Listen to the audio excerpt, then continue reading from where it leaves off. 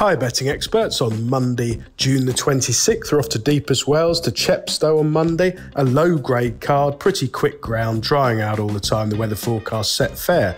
We start off with our betting expert daily nap, sponsored by Bet365. In the opener, it's a Class 6 handicap, over man, one mile two. And I think this is a good opportunity for David Evans's man made of smoke to regain the winning thread. Now, he was a bit disappointing at Leicester last time out, but he was dropped out in a muddling small field there and never landed a bro. I thought his previous effort in the frame was very promising, a bit better than the bare result. I think he's still on a fair mark. He's around 12 to 1 this morning. It's a more than fair price.